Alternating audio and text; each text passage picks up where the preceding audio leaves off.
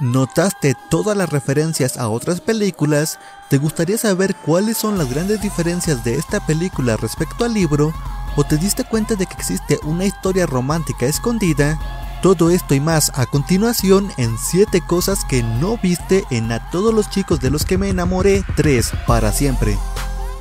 Número 1. Una de las locaciones que más sorprendió en esta tercera entrega de la saga de A todos los chicos de los que me enamoré fue sin duda la cafetería en Corea donde todo parecía estar dibujado y en blanco y negro. Y algo que quizás no sabías es que esta cafetería en verdad existe en la vida real y la puedes encontrar por el nombre de Grim Café.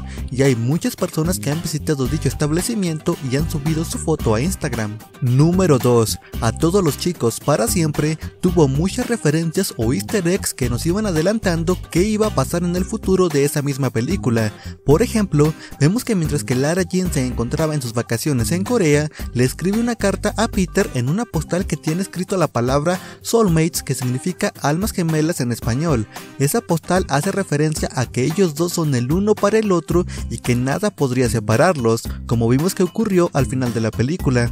Por otro lado, vemos que cuando vuelve de dichas vacaciones, Lara Jean le pone una mascarilla a Peter Kavinsky y le cuenta una de sus escenas favoritas de una película romántica de los 80, en la cual un sujeto carga sobre su cabeza una grabadora mientras se encuentra afuera de la casa de su enamorada. Lo anterior predijo algo que Peter Kavinsky también haría, pues luego de que Lara Jean le mintió diciéndole que sí había sido admitida en Stanford, Peter aparece afuera de su casa y con las manos en alto mientras sostiene su celular desde el cual estaba reproduciendo una música de festejo por haber entrado en dicha universidad.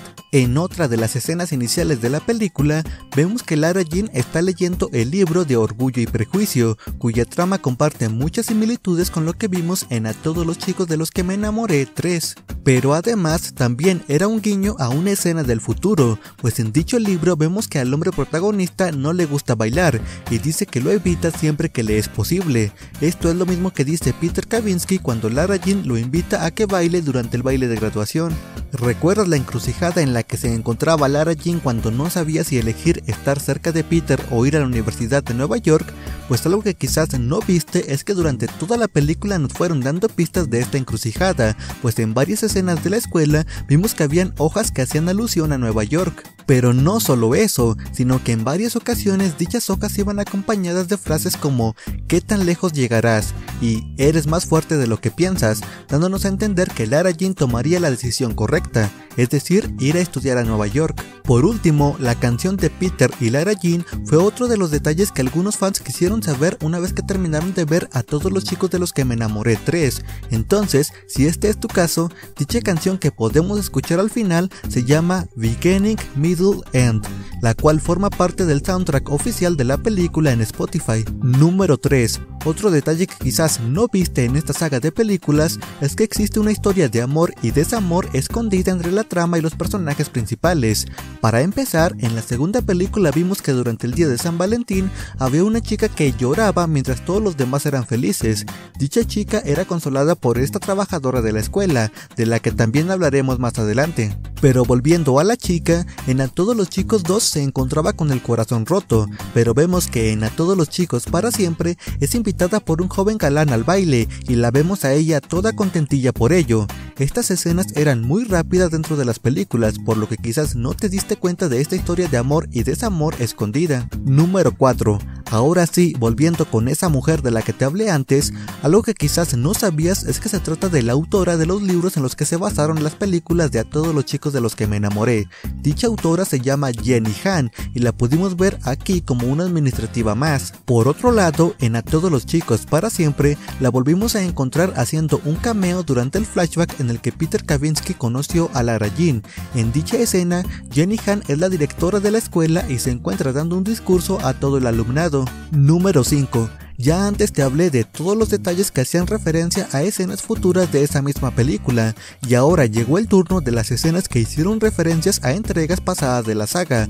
Por ejemplo, en esta fantasía donde Lara Jean imagina que está pintando su casa junto a Peter Kavinsky, podemos ver que Peter dibuja un corazón con sus iniciales dentro. Este corazón con las iniciales es una referencia a la segunda película, en la cual vimos que ellos tuvieron su primer cita oficial, durante la cual vimos a Lara Jean haciendo exactamente ese mismo dibujo pero en un globo que luego enviarían al cielo.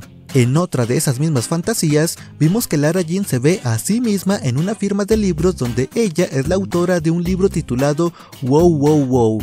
Ese título hace referencia a la primer película de la saga, en la cual vemos que Peter Kavinsky no dejaba de repetir justo eso cada vez que se encontraba a Lara Jean, como cuando casi lo atropella o en situaciones más serias como cuando tenían sus peleas. Por otro lado, en A Todos los Chicos para Siempre, vimos que Peter recibió a Lara Jean con un letrero gigante, entonces, su hermanita le dice a Peter que debe trabajar más en el espacio entre letras, pero que le agradece que le haya puesto brillitos. Esto hace referencia a la segunda película, en la cual Lara Jean critica a su hermanita por usar brillitos en una carta de amor. Entonces, la hermanita le responde que quizás a Peter Kavinsky también le haga falta una dosis de brillo en su vida. Y para terminar con las referencias, vemos que en esta película Jen le hace un cumplido a Lara Jean por los zapatos que trae. Esta es una referencia y un contraste entre cómo se llevan bien ahora y cómo se llevaban mal en el pasado, pues en la primera película vimos que Jen hacía justo lo contrario, criticaba a Lara Jean por su calzado. Número 6. Cuando Lara Jean se encuentra planeando la cita perfecta para Peter, vemos que hace una lista de sus películas favoritas para buscar temas para dicha cita.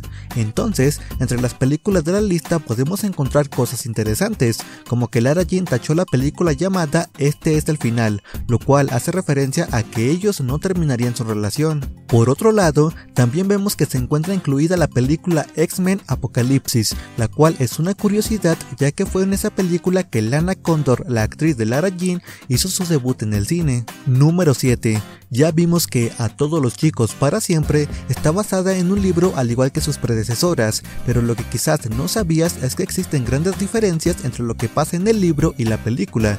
La mayor de ellas es que en el libro es Lara Jean quien se llena de inseguridades respecto a la distancia entre universidades y decide terminar la relación con Peter, aunque al final también se reconcilia con él después de la boda de su padre. Por otro lado, mientras que en la película solo vimos que Christine quería irse a trabajar en una granja en Costa Rica, en el libro se nos dice que al final desecha esa idea y termina trabajando en República Dominicana dentro de un hotel ecológico.